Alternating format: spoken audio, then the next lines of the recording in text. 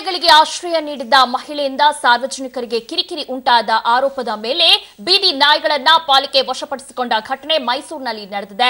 Lashkar police ಠಾಣಾ ವ್ಯಾಪ್ತಿಯ ಉಮಾ ಚಿತ್ರಮಂದಿರದ ಬಳಿ ವಾಸವಿದ್ದ ರಾಜಲಕ್ಷ್ಮಿ ಎಂಬರು ಹತ್ತಕ್ಕೂ ಹೆಚ್ಚು ಬೀದಿ ನಾಯಿಗಳಿಗೆ ಆಶ್ರಯ ನೀಡಿದರು. ಇದರಿಂದ ಸ್ಥಳೀಯ ವರ್ತಕರು ಹಾಗೂ ನಾಗರಿಕರಿಗೆ ನಿತ್ಯವೂ ಕಿರಿಕಿರಿ ಉಂಟಾಗುತ್ತಿತ್ತು. ಮನೆಯ ಬಳಿ ನಾಯಿಗಳಿಗೆ ಆಶ್ರಯ ನೀಡಿದ ರಾಜಲಕ್ಷ್ಮಿ ಸ್ಥಳದಲ್ಲೇ ಸ್ವಚ್ಛತೆ ಕಾಪಾಡಿಕೊಳ್ಳದೆ ಗಲೀಜು ಮಾಡುತ್ತಿದ್ದರು.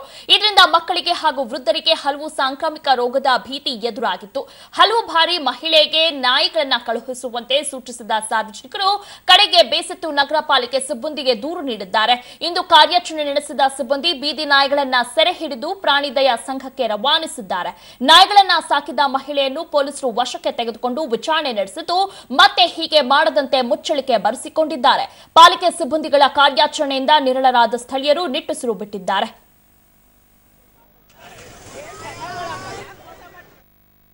ಒಂದು ವರ್ಷದಿಂದ ಈ ಮಹಿಳೆ ನಾಯಿಗಳ ಜೊತೆ ಬಂದು ವಾಸ ಮಾಡ್ತಾ, ನಾಯಿಗಳ ತ್ಯಾಜ್ಯ ವಸ್ತು, ನಾಯಿಗಳ ತ್ಯಾಜ್ಯ ವಸ್ತು ಮಲ ಮೂತ್ರಗಳೆಲ್ಲ ಇಲ್ಲೇ ಆಗ್ತಾ ಇದೆ. ಇದರಿಂದ ಅಕ್ಕಪಕ್ಕದವ್ರಿಗೆ ರೋಗಗಳು ಬರ್ತಾ ಇದೆ. ನಿನ್ನೆಯಿಂದ ದುರ್ನಾತ ಬರ್ತಾ ಇದೆ.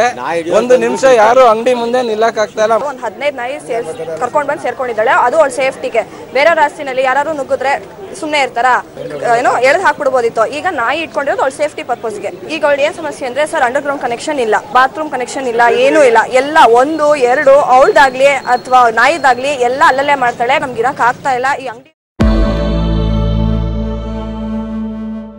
ಅಂತೂ ಇಂತೂ ಅಕ್ರಮ ಆಸ್ತಿ ಗಳಿಕೆ ಪ್ರಕರಣದಲ್ಲಿ ಜಯಲಲಿತಾ, ಪರಮಾಪ್ತೆ, ಶಶಿಕಲಾ, ನಟರಾಜನ್ ಇನ್ನು ಮುಂದಿನ ನಾಲ್ಕು ವರ್ಷಗಳ ಕಾಲ ಸರಿಸುಮಾರು ಕಾಲ ಬೆಂಗಳೂರಿನ ಪರಪ್ಪನ ಅಗ್ರಹಾರದಲ್ಲಿ ಕಾಲ ಕಳೆಯಬೇಕು. ಇವರ ಜೊತೆಗೆ ಆಕೆಯ ಸಂಬಂಧಿಕರಾದ ಸುಧಾಕರನ್ ಹಾಗೂ ಇಳವರಸಿ ಕೂಡ ಇವತ್ತು ಜೈಲು ಪಾಲಾದರು. ಮಧ್ಯಾಹ್ನ ಒಂದು ಮೂವತ್ತಕ್ಕೆ ವಿಶೇಷ ಕಾರಿನಲ್ಲಿ ಹೊರಟಿದ್ದ ಶಶಿಕಲಾ ಸಂಜೆ ಐದು ಗಂಟೆ ಹದಿನೈದು ನಿಮಿಷಕ್ಕೆ ಪರಪ್ಪನ ಅಗ್ರಹಾರದ ಆವರಣವನ್ನು ತಲುಪಿದ್ರು. ಜಯಲಲಿತಾ ಬಳಸುತ್ತಿದ್ದ ಟಯೋಟಾ ಪ್ರಾಡೋ ಕಾರಿನಲ್ಲೇ ಶಶಿಕಲಾ ಕೂಡ ಜೈಲಿಗೆ ಬಂದರು. ಶಶಿಕಲಾ ಮುಂದೆ ಕೂತಿದ್ರೆ ಇಳವರಸಿ ಹಿಂದಿನ ಸೀಟಿನಲ್ಲಿ ಕುಳಿತಿದ್ರು.